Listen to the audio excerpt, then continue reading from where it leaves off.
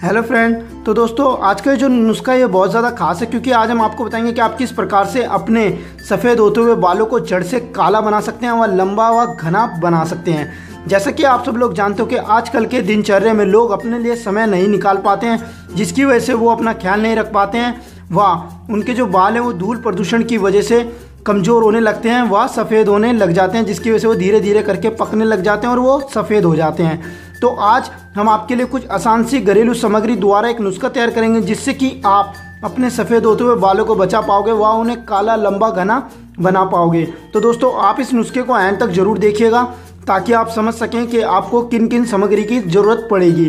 तो दोस्तों, इस नुस्खे में हम जो सबसे पहले लेंगे, वो लेना होगा प्याज, यानी कि अनियन।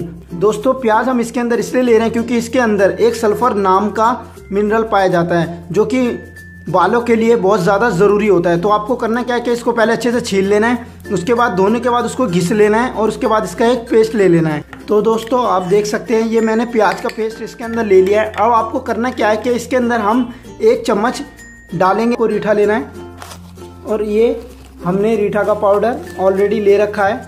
अब आपको करना क्या है कि आपको एक चम्मच रीठा का पाउडर इसके अंदर ऐड कर लेना है,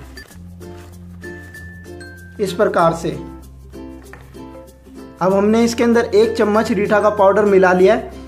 तो दोस्तों, रीठा का पाउडर हमने इसलिए मिलाया क्योंकि ये आपके बालों की जड़ों में जाकर के समाता है, आपकी बालों की जड़ों को मज़बूत बनाता है वह साथ ही साथ उन्हें काला बनाने में भी बहुत ज़्यादा मददगार साबित होता है, जिसकी वजह से आपके बाल जो हैं वो हमेशा के लिए काले रहते हैं वह लंबे, घने दिखते रहते हैं। दोस्तों, अब इसके बाद हमें इसके अंदर मिलाना है दही। अब दोस्तों, हमें इसके अंदर दही लेना है।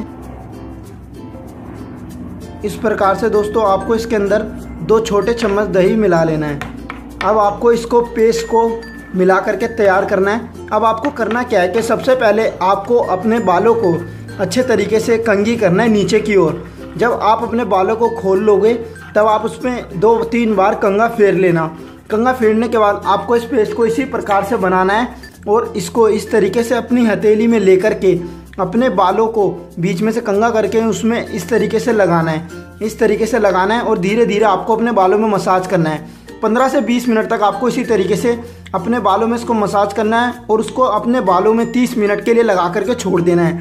तीस मिनट के बाद किसी भी आपको हर्बल शैम्पू से उसको वॉश कर लेना है। दोस्तों, ये नुस्खा जो है आपको हफ़्ते में दो से तीन बार ज़रूर करना है। दो दो से तीन बार करने से आपके बालों की जड़ें जो हैं मज़बूत होने लग जाएँगी, आपके बाल जो हैं वो दुगनी तेज़ी से लंबे होने लगेंगे। व आपके सफ़ेद बाल जो थे, वो पहले से भी ज़्यादा काले, लंबे व घने मोटे दिखने लगेंगे। तो दोस्तों, ये था हमारी तरफ़ से आपके लिए आज का नुस्खा। अगर आपको नुस्खा पसंद आया तो वीडियो को लाइक कीजिएगा, व्हाट्सएप, फेसबुक पर फैमिली फ्रेंड्स के साथ इसको शेयर कीजिएगा। और जो लोग हमारे चैनल पर नए हैं, वो हमारे चैनल को सब्सक्राइब करें और बेल आइकन को दबाएँ ताकि आने वाली सारी वीडियो सबसे पहले देख पाएँ। धन्यवाद।